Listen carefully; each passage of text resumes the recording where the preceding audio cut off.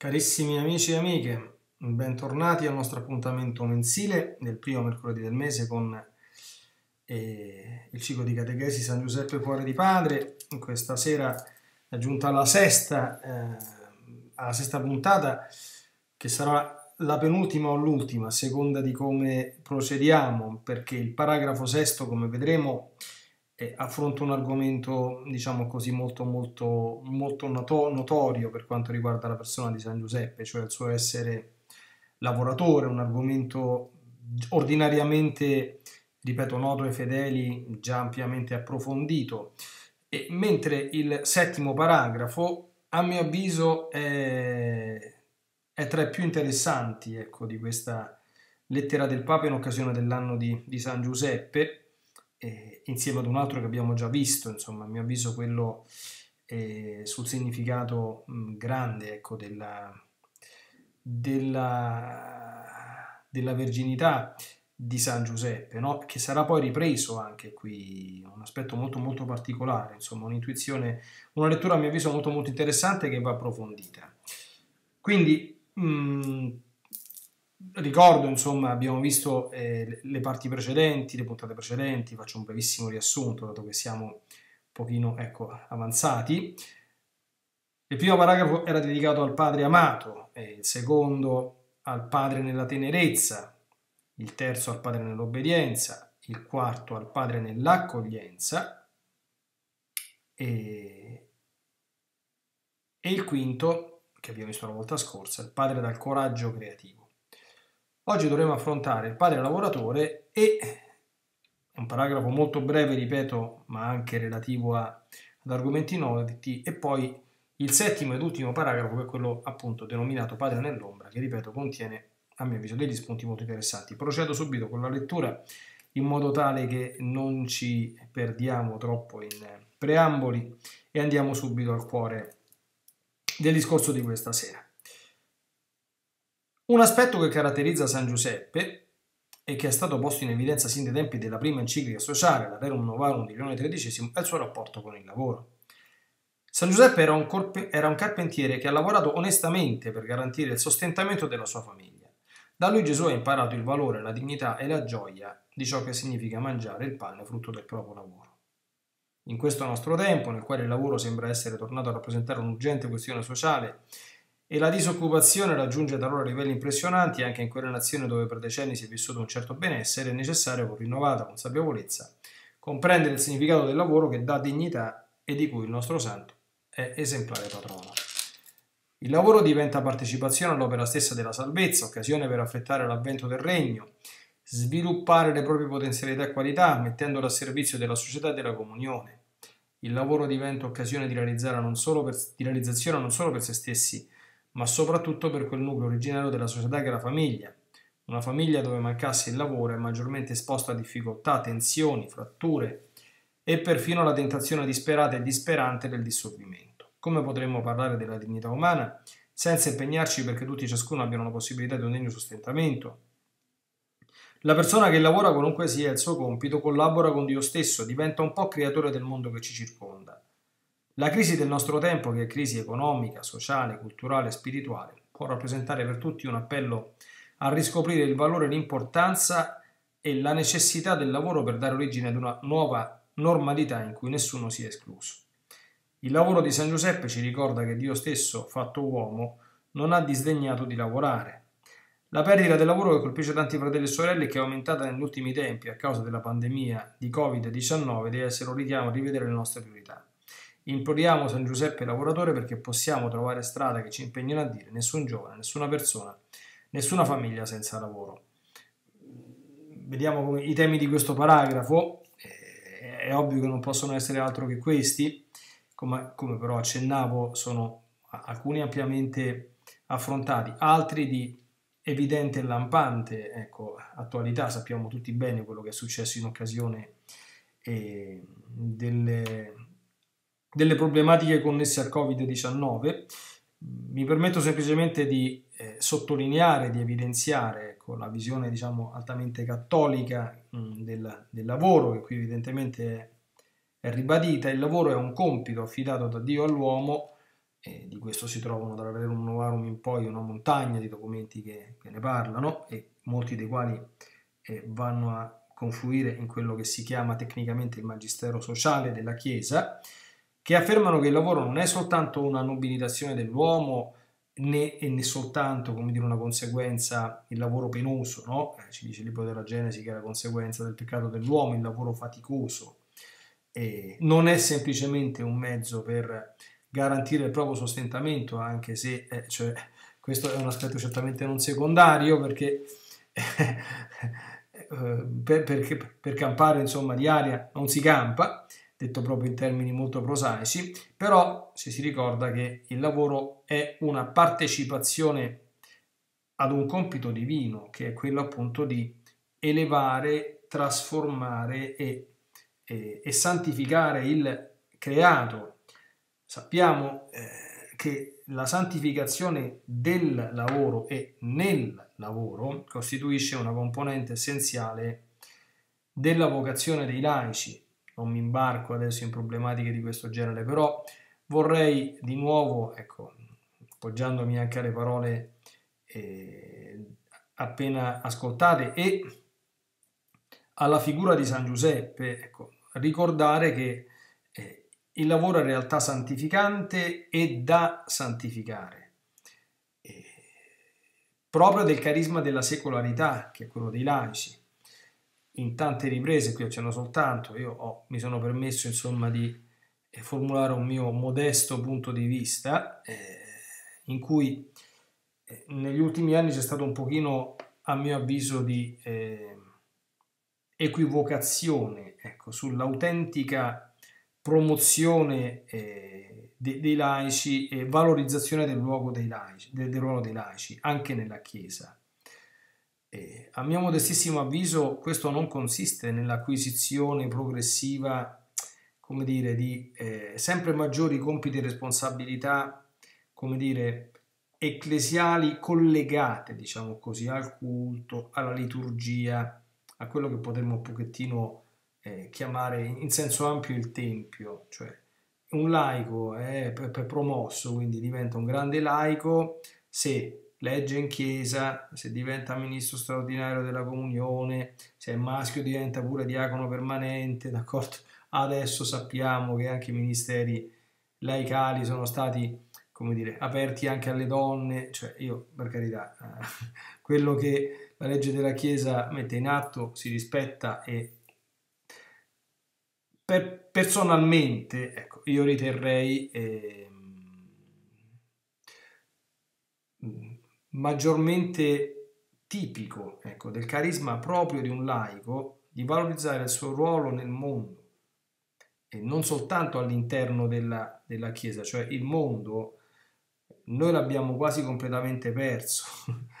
I, I laici hanno loro il compito di essere sale, luce e lievito perché i ministri sacri devono aiutare i laici a farlo, addirittura i religiosi e le religiose stanno fuori di questo contesto, quindi eh, lasciano il mondo, come si diceva nel, nella teologia classica, per cominciare da qui a vivere la vita del cielo, per dare questo segno, diciamo così, forte al mondo.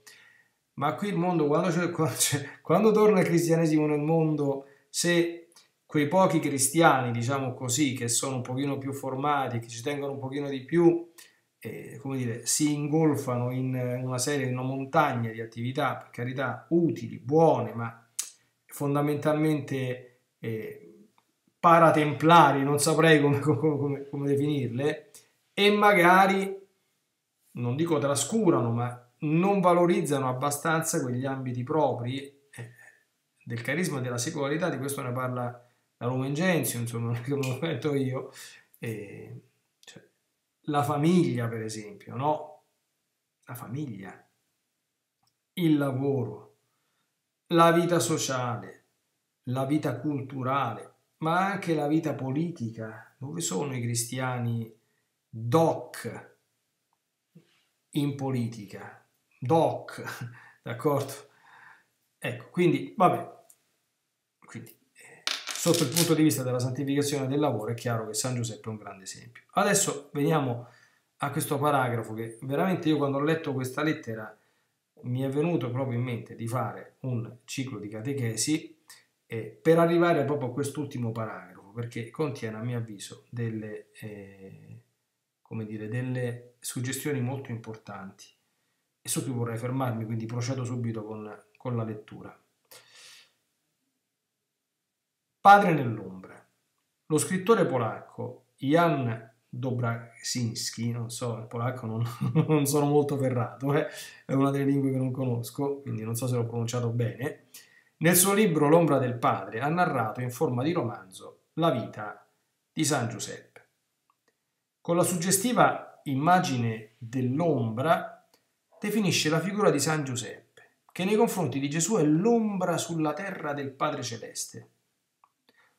Lo custodisce, lo protegge, non si stacca mai da lui per seguire i suoi passi. Pensiamo a ciò che Mosè ricorda a Israele. Nel deserto hai visto come il Signore tuo Dio ti ha portato come un uomo porta il proprio figlio per tutto il cammino. Così Giuseppe ha esercitato la paternità per tutta la sua vita. Adesso attenzione.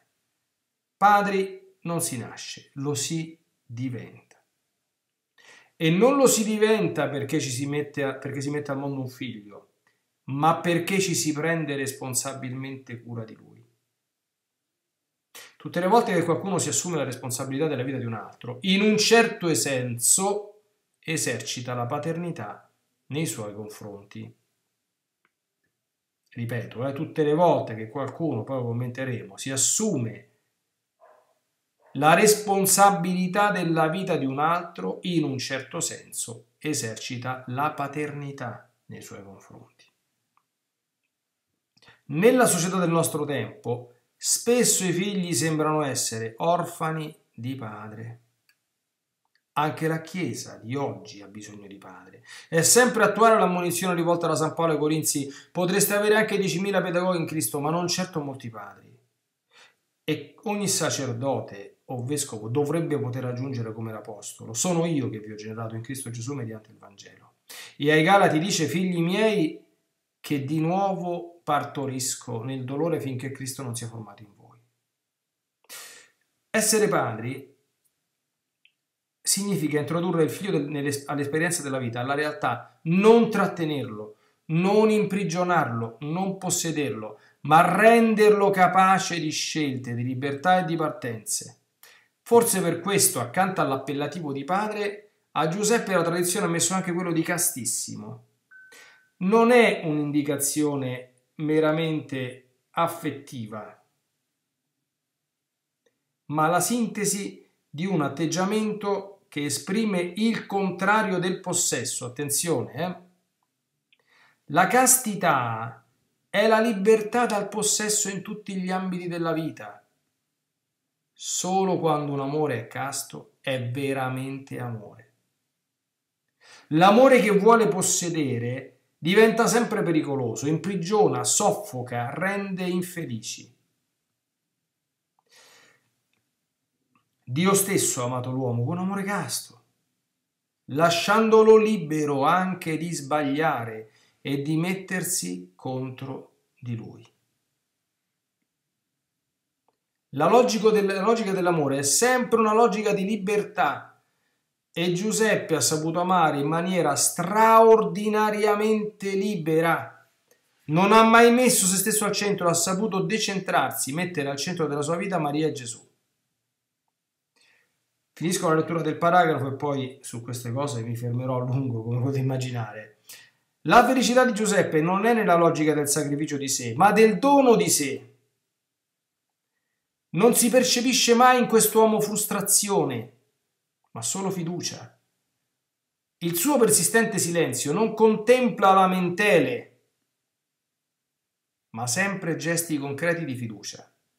Il mondo ha bisogno di padri, rifiuta i padroni, rifiuta cioè chi vuole usare il possesso dell'altro per riempire il proprio vuoto, rifiuta coloro che con, confondono autorità con autoritarismo, servizio con servilismo, confronto con oppressione, carità con assistenzialismo, forza con distruzione. Ogni vera vocazione nasce dal dono di sé, che è la maturazione del semplice sacrificio. Anche nel sacerdozio, nella vita consacrata, viene chiesto questo tipo di maturità. Lì dove è una vocazione matrimoniale, celibataria o virginale, non giunge alla maturazione del dono di sé fermandosi solo alla logica del sacrificio. Allora, invece di farsi segno della bellezza e della gioia dell'amore, rischia di esprimere infelicità, tristezza e frustrazione. La paternità che rinuncia alla tentazione di vivere la vita dei figli spalanca spazi all'inedito. Ogni figlio porta sempre con sé un mistero, un inedito che può essere rivelato solo con l'aiuto di un padre che rispetta la sua libertà. Un padre consapevole di completare la propria azione educativa e di vivere pienamente attenzione alla paternità solo quando si è reso inutile quando vede che il figlio diventa autonomo e cammina da solo sui sentieri della vita. Quando si pone nella situazione di Giuseppe, il quale ha sempre saputo che quel bambino non era suo, ma era stato semplicemente affidato alle sue cure. In fondo è ciò che lascia intendere Gesù quando dice non chiamate padre nessuno di voi sulla terra, perché uno solo è il Padre vostro, quello celeste. Tutte le volte che ci troviamo nella condizione di esercitare la paternità dobbiamo sempre ricordare che non è mai esercizio di possesso, ma segno che rinvia ad una paternità più alta. In un certo senso siamo tutti sempre nella condizione di Giuseppe. Ombra dell'unico Padre celeste che fa sorgere il sole sui cattivi e sui buoni e fa piovere sui giusti e sugli ingiusti. Ombra che segue il figlio. Bene, Dopo c'è la conclusione che eh, leggeremo presumibilmente al termine di questa puntata, che vedo che abbiamo un pochino di tempo per commentare, sarà, sarà l'ultima, però questa, questa parte della lettera, a mio avviso, è spettacolare, altamente formativa. Allora, c'è innanzitutto, certamente c'è questo romanzo di questo autore polacco che dà l'ispirazione, l'ombra del padre. Attenzione, questi concetti, il Papa lo spiega, si applicano ai preti, ai vescovi, ai religiosi e ai padri e per estensione anche alle madri reali, cioè cosa significa avere autorità sul prossimo e come si esercita i passaggi relativi anche alla castità, pensiamo alla rilevanza, cioè di queste idee sulla riscoperta della castità prematrimoniale.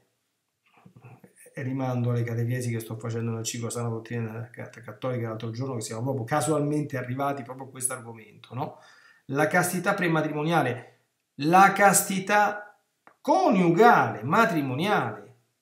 San Giuseppe è il castissimo, ma è modello di tutte le forme di castità e la sua peculiare castità e il modo con cui l'ha vissuta diventa criterio di comprensione anche del valore e dell'importanza di questo aspetto.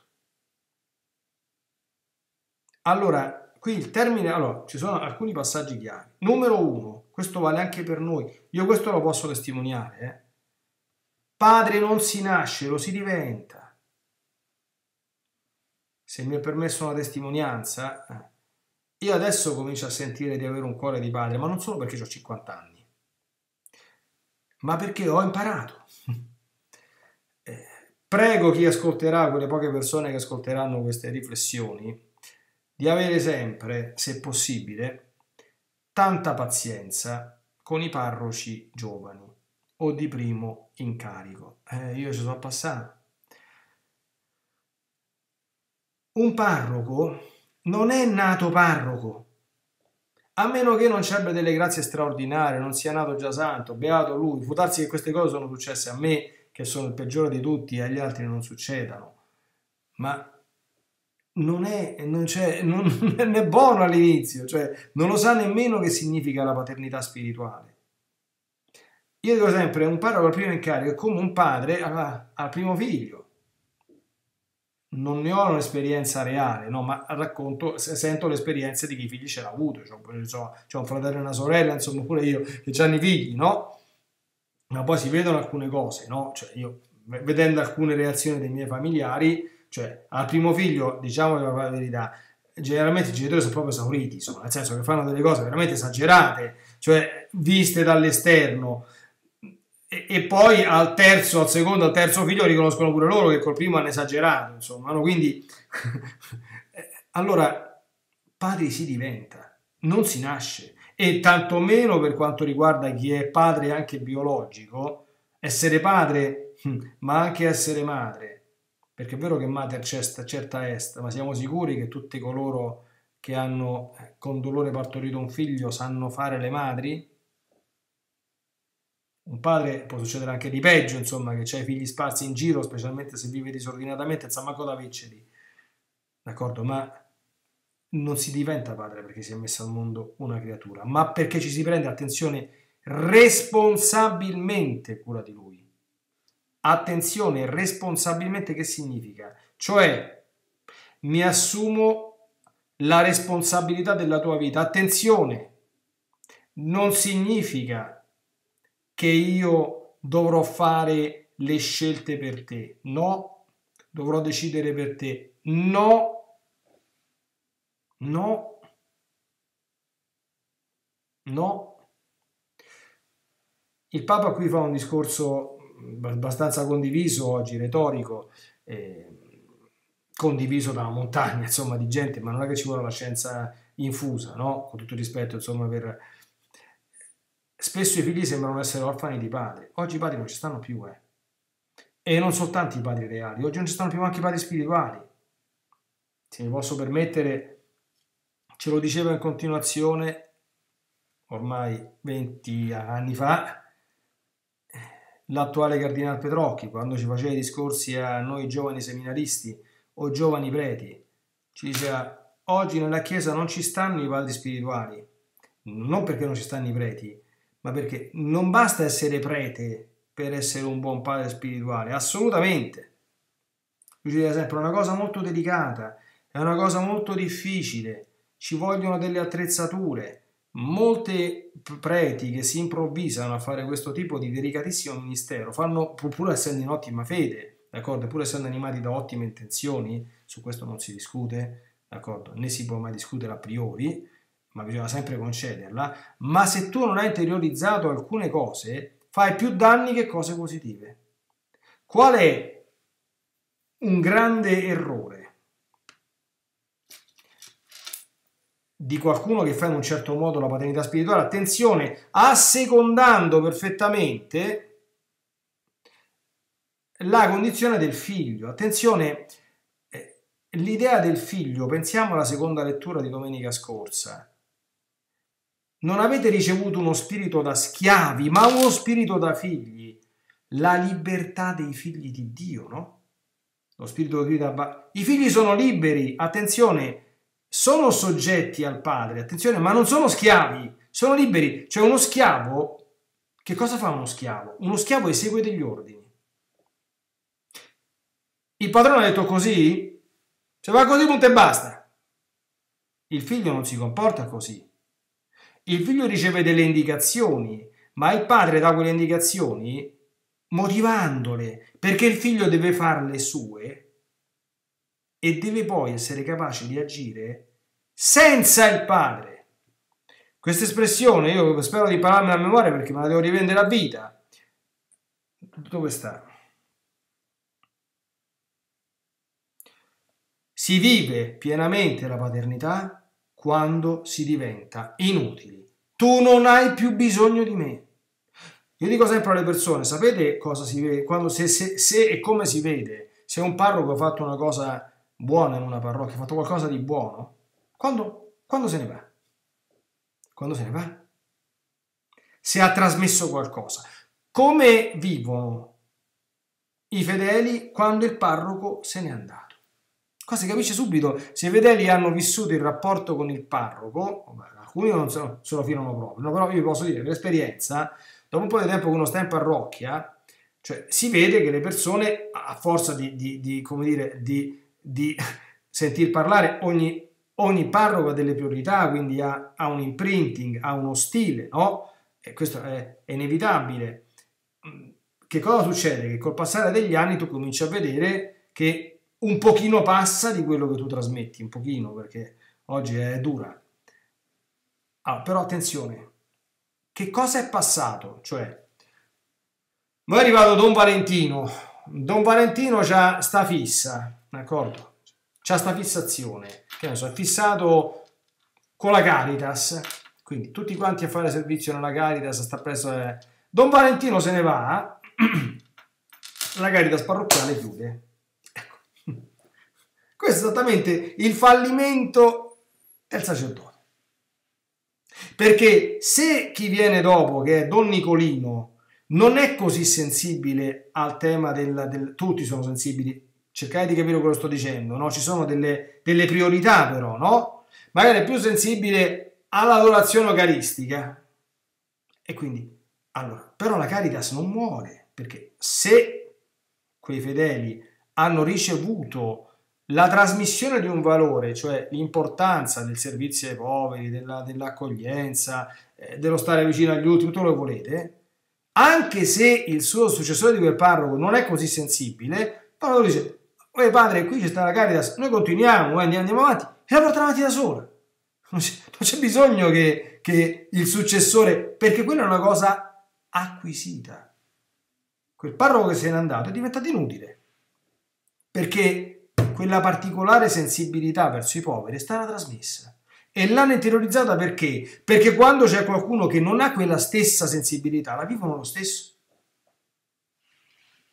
Capito? Io vi posso fare una confessione, cioè a distanza ogni tanto io mm, guardo, come dire, da vicino o da lontano, persone che conosco, persone con cui anche, come dire, c'è stato un tipo di relazionalità spirituale perché voglio vedere proprio se a certe cose ci arrivano da soli dopo tanto tempo che magari mi conoscono, non soltanto senza che io gli dico niente, perché adesso ci arriviamo a questo punto, cosa devi fare un padre a meno che non si tratti, capito? Cioè un padre un figlio deve dirgli che le, che, che le canne non se le deve fare, d'accordo? Questo, questo, questo è evidente, poi glielo spiega perché. Quindi attenzione, in ordine a ciò che è bene o male, le indicazioni devono essere chiare, nette, ma nella vita non c'è soltanto il bene e il male bianco e nero, ci sono tante altre cose. E su queste tante altre cose un buon padre non decide per il figlio, ma insegna al figlio come si decide, a decidere lui. Io questa cosa, prima di leggere questa, questa lettera, l'avevo capita molto bene, da qualche anno. Da qualche anno. E chi mi conosce sa bene che sotto questo punto di vista io adesso non cioè sapeste quante mail quante cose ricevono allora sapete no e qual è il punto di ogni situazione? Che cosa devo fare?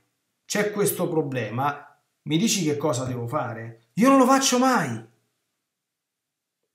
Non solo non lo faccio perché non lo voglio fare, ma perché non lo devo fare. Quello che faccio è, guarda figlio mio, mi parli di questa cosa? Bene, questi sono i parametri, d'accordo?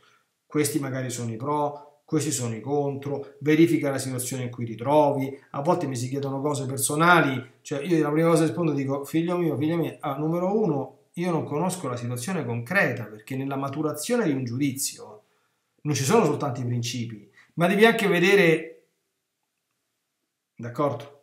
Vi faccio l'esempio di una domanda tipica. Eh, ho un collega di lavoro, un parente che, che si sposa al comune ci vado o non ci vado? Te, te lo dico io questo qui. Ma attenzione, né in un senso né in un altro. E personalmente, pur rispettando tutti, eh, allo stato di maturazione attuale, io mi sento di non approvare chi gli dice vai al matrimonio oppure non andare al matrimonio. Perché questa non è una cosa assoluta nel dire vai al matrimonio o non andare al matrimonio, è chiaro che tu ci metti una parte di te, cioè dare quella cosa, dire quella cosa, è quello che faresti tu al suo posto, attenzione, senza manco conoscere le, circostanze, no? Per cui una scelta in una direzione o in un'altra, in certe circostanze, è micidiale. Allora tu gli dici, guarda, nell'andare le cose in causa sono queste, d'accordo? Questi sono i, i valori che si salvaguardano e questi sono i rischi e i pericoli. Nel non andare, queste sono le cose che si salvaguardano e questi sono i, rischi e pericoli. Tu che cosa pensi anzitutto? Vedi verso cosa ti senti inclinato e poi pondera pro e contro di ogni scelta alla luce delle circostanze concrete in cui dovrai vivere. Non posso decidere io per te. Non solo non posso, ma non devo. Perché tu oggi chiedi, oggi, oggi chiedi quel, capite? Cioè, alimentare una cosa di questo genere significa non formare dei figli, ma creare, involontariamente ovviamente, ma degli schiavi. Degli schiavi. È proprio dei figli di Dio maturare una capacità critica, eh, ma, mh, di discernimento, di farsi un'idea propria Pensate a tutte quante le problematiche, non vi dico, connesse ad alcune cose attuali, eh, di, di, di, cioè, ma sapeste quante volte, capito? Cioè, arrivano eh, mail o non mail, dico, alt, dico, questa è la situazione, d'accordo? Da un punto di vista morale questa è la questione, da un punto di vista esistenziale quest'altra è la questione.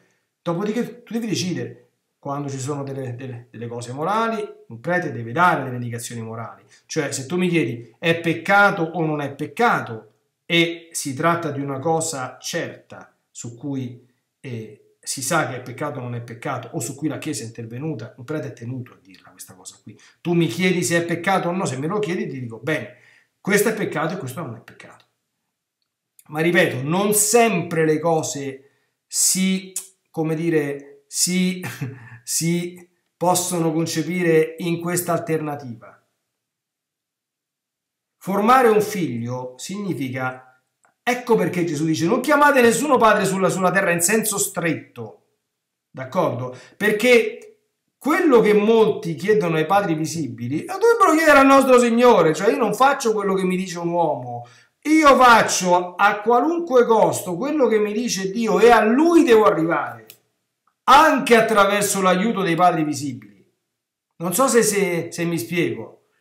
Perché avete un solo Padre Celeste? Perché lui solo, a lui solo bisogna obbedire. Tutti gli altri padri, e con i padri si intendono davanti all'autorità, comprese quelle ecclesiastiche, compreso il padre spirituale, compreso il parroco, sono padri, in quel passo del Vangelo, tanto quanto sono figli che decodificano correttamente il volere dell'unico padre.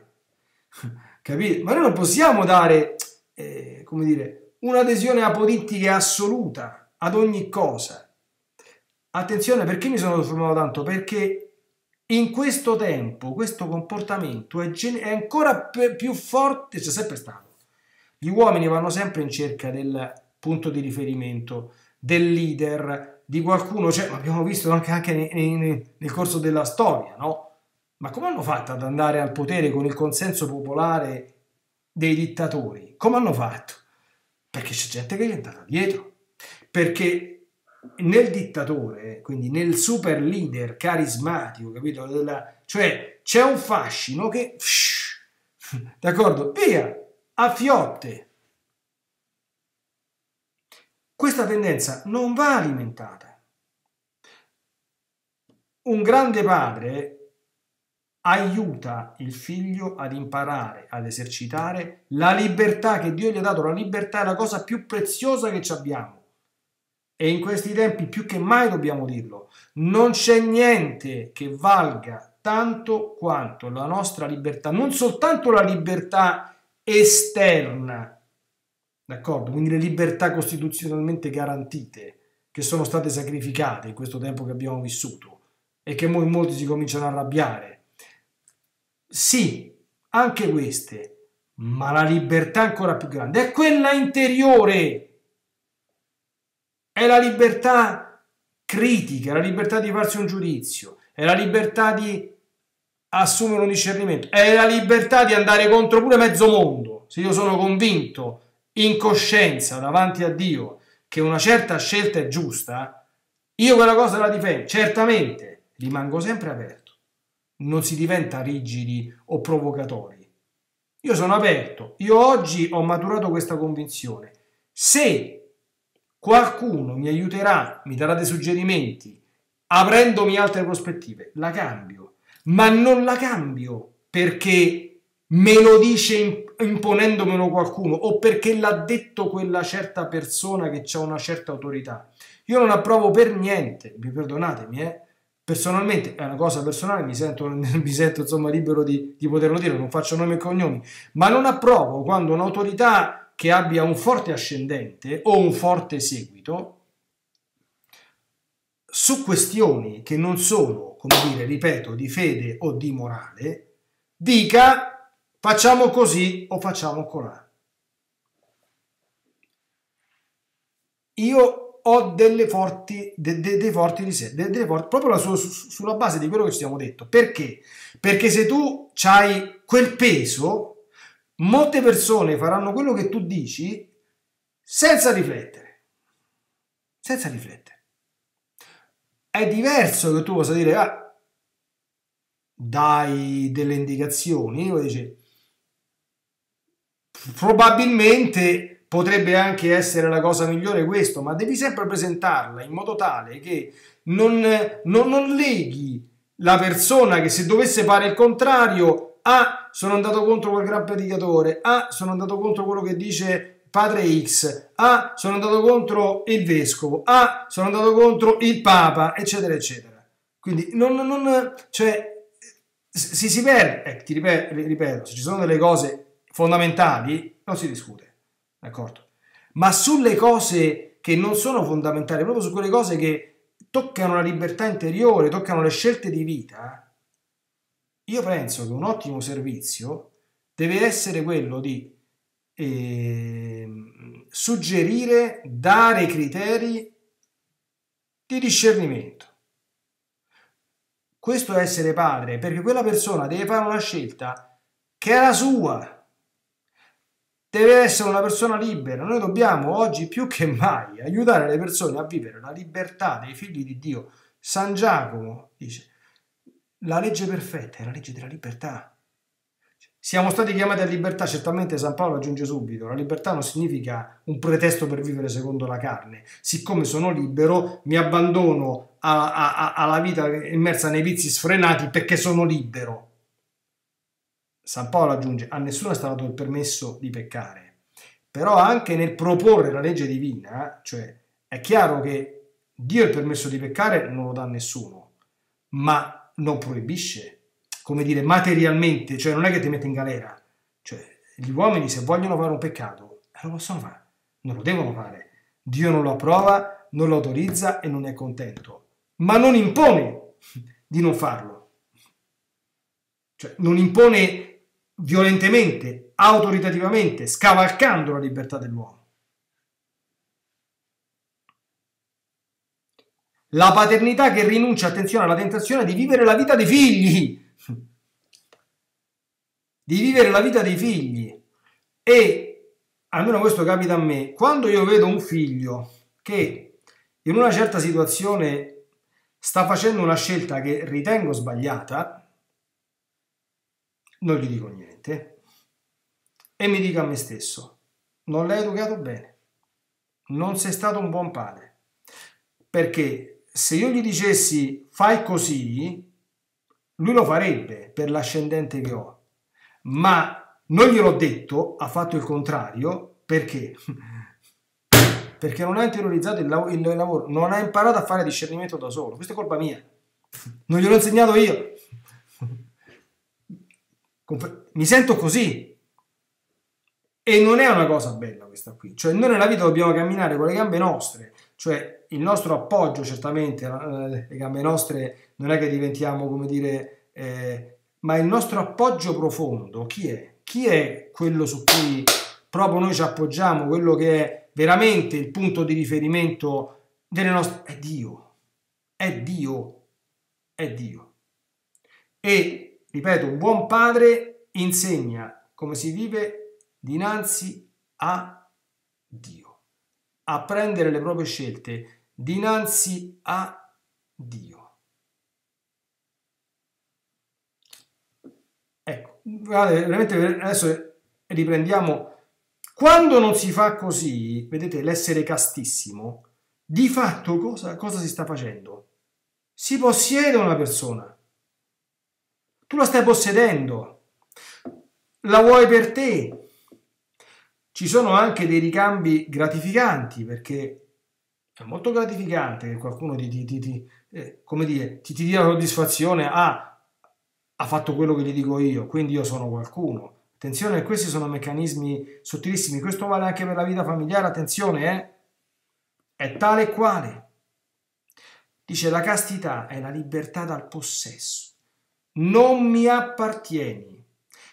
Io mi dono a te, ma tu non ti prendo. Cioè, un matrimonio quando è che funziona? Quando un matrimonio è una, una donazione totale e reciproco. Non è che l'uno possiede l'altro, no, no, è un incontro tra, un due, tra, tra un due forme di donarsi totalmente, per cui uno si appartiene all'altro, ma non lo possiede. Questa è la castità. È bellissima questa, questa immagine. Allora, perché la castità prematrimoniale? Perché tu non sei una cosa mia. Il fidanzato non appartiene alla fidanzata. Ok? Non è suo non può stare con la fidanzata come se fosse il marito o la moglie, perché non lo è. E perché la castità coniugale? Perché c'è anche la castità coniugale. Per lo stesso motivo. Perché io non mi vado a prendere quello che non è mio, non ti chiedo ciò che non si può. Perché io anche dentro questa realtà, la, dentro la realtà della vita coniugale, non mi metto come padrone o come possessore, ma mi metto sempre come figlio che riceve dal Signore, come dire, l'attrezzatura e l'abilitazione per vivere questo, non come possesso, ma come dono.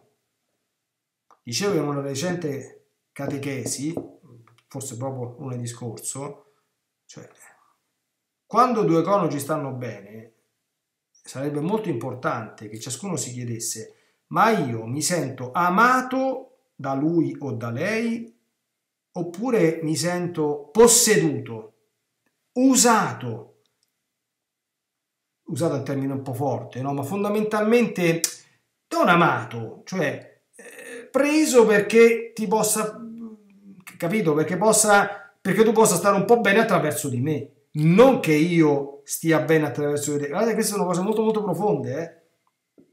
I discorsi di questa sera sono profondissimi, ma attenzione che queste sono le cose basi, la nostra vita è fatta così. Chi è il castissimo? È Dio. Perché Dio ci ama con amore casto, Dio ci lascia liberi di sbagliare, di fargli una guerra, di metterlo in croce, di andare all'inferno, capito? Ma che ci rendiamo conto? Ci rendiamo conto? Eh, quindi quando si ama veramente si lascia libera la persona che sta vicina. Lasciarla libera non significa abbandonarla, non aiutarla. Per carità, essere padre significa prendersi cura, significa prendersi la responsabilità di un altro, ma non coartarlo, manipolarlo, condizionarlo, comandarlo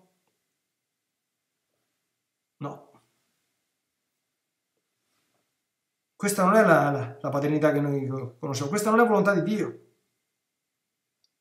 E un altro aspetto, l'ultimo, che approfondisce qui, attenzione, la differenza tra il dono di sé e il sacrificio. Attenzione, il dono di sé presuppone il sacrificio, nessuno che non è disposto a sacrificarsi è capace a donare se stesso. Ma il dono di sé trascende il sacrificio, perché? Perché il dono di sé entra nella logica della gioia, dell'amore, mentre il mero sacrificio è soltanto fatica, sforzo, quindi una persona che si sacrifica molto ma non è arrivata al dono di sé nell'amore, tu la vedrai sempre arrabbiata, oppure dice io ho fatto questo, ho fatto tanti sacrifici, ho fatto tanti sforzi e questa è la ricompensa. Non, non, non, no, non c'è niente di... Certamente, per carità, c'è un bene oggettivo, no? È comunque sia meglio una persona che si è sacrificata per il bene degli altri piuttosto che una persona che è egoista, questo è evidente, ma non stiamo ancora nel mondo di Dio. Dio, Gesù si è sacrificato, non lo so se non si è sacrificato, ma dice San Tommaso, qual è la cosa importante che ha fatto Gesù? Più importante, l'andare in croce o l'amore con cui è andato in croce? Lo scrive San Tommaso, eh? La risposta è l'amore con cui è andato in croce. Ecco la differenza tra il dono e il sacrificio, no? Mai esercizio di possesso. Il figlio deve diventare autonomo e saper camminare da solo. I genitori quando è che sono contenti? Quando i figli si fanno una grande vita da solo. E quando è che i figli non si fanno grande? Cioè, sappiamo bene, no? Eh, quando un figlio eh, fa una brutta vita, questo ve lo dico per esperienza, io non ho figli naturali, ma ci parlo con i genitori dei figli naturali anche se forse non si vuole ammettere, i genitori se, sentono in colpa. Pensano che hanno sbagliato in qualche, in, in qualche cosa, non sempre è così, non necessariamente è così, ma qualche volta potrebbe esserlo. Cioè, come noi preti siamo chiamati eh, come dire, a verificarci, a guardare quello che combiniamo e vedere se fa bene o se fa bene o, o se non fa tanto bene alle anime, e eventualmente poi fare mia colpa e rettificare, perché nessuno ha nato imparato, devono farlo anche i genitori questo qui, senza paura. Anche questo è proprio dell'essere liberi, perché essere liberi è anche accettare di fare i conti con i propri errori, cioè mm, le anime buone, concludo, generalmente non fanno i peccati, perché per fare un peccato non deve essere cattivo, il peccato è caratterizzato dalla, dalla, malizia, cioè tu sai che stai facendo una cosa fatta male, la fai lo stesso, quello è il peccato. Ma molte volte, spessissimo, come detto all'inizio, uno pensa di fare il bene, ma purtroppo ha fatto male e si deve correggere. Se è una persona matura, libera, non ha complessi, ha superato le ferite, le difficoltà, questo altro, altro ciclo ancora di catechesi che, che, che quell'altro, faccio sempre gli spot pubblicitari, quindi dal non senso alla vita di cielo è qui che si affrontano questi nodi, mi sono sbagliato e rettifichiamo. Dovrò anche chiedere scusa, si, si, si chiede scusa anche per gli errori di guarda, figlio mio, io pensavo di aver fatto bene e purtroppo ho fatto male, credimi. Io pensavo di fare il tuo bene, me ne sono accorto che purtroppo ho fatto il male. Perdona l'errore, potevo pensarci prima, potevo pensarci meglio, sicuramente era tutto possibile. Ecco, ma non l'ho fatto apposta. ecco, però per fare questo bisogna camminare in conversione continua. Allora, chiudiamo con la conclusione della lettera. Alzati, prendi con te il bambino e sua madre, dice Dio a San Giuseppe. Lo scopo di questa lettera apostolica è quello di accrescere l'amore verso questo grande santo, per essere spinti ad implorare la sua intercessione e per imitare le sue virtù e il suo slancio. Infatti la specifica missione dei santi mm, è non solo quella eh, di concedere miracoli e grazie, questo, questo è un altro punto molto molto importante, eh? ma di, inter- di, intercedere per noi, ma di intercedere per noi davanti a Dio, come fece Abramo e come Mosè e come fa Gesù, unico mediatore che presso Dio Padre è il nostro avvocato, sempre io per intercedere in nostro favore. Ma i santi aiutano anche tutti i fedeli a perseguire la santità e la perfezione del proprio stato. La loro vita è una prova concreta che è possibile vivere il Vangelo. Cioè i santi non si invocano solo per i miracoli. I santi sono nostri intercessori ordinari e sono soprattutto esempi di vita. Ecco, ricontemplare la figura di San Giuseppe significa imitarlo. Le cose che ci siamo detti questa sera, tutte le persone che hanno autorità e che si prendono cura di qualcuno, ci devono pensare. E bene, e tanto. E se c'è qualcosa da correggere, da cambiare, lo devono fare pure di corsa. A contatto con l'esempio della santità, no? Ecco. Gesù ha detto, imparate da me che sono mite ed di cuore, ed essi a loro volta sono esempi da imitare. San Paolo ha esplicitamente esortato, diventate miei imitatori. E non era superbo aggiungo io. San Giuseppe lo dice attraverso il suo eloquente silenzio.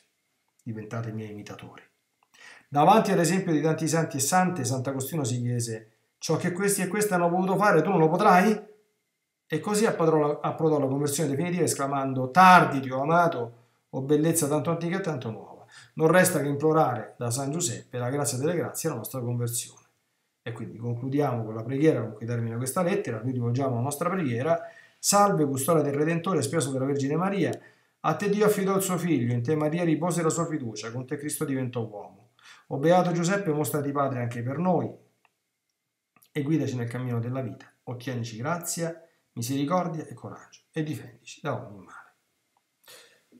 Questo ciclo di catechesi finisce qui, ecco, poi vedremo se è il caso quest'anno di San Giuseppe riaprire qualche altra pista di riflessione sul più santo dei santi. Grazie per chi ha avuto la pazienza di seguirla fino alla fine, questa catechesi, magari anche tutte le altre. Affidiamola al Signore, eh, se qualcosa di buono è sceso nelle anime, se ne ringrazi sempre e solo Lui, non gli strumenti. Eh, nemmeno il Papa, tanto lui è contento se dico questa cosa, meno che mai il sottoscritto, ecco, perché sia sempre tutto eh, all'ode e gloria di Dio solo. Dio vi benedica a tutti e la Madonna vi protegga. Se ci sarà alla prossima serie di catechesi sul più santo dei santi. A presto.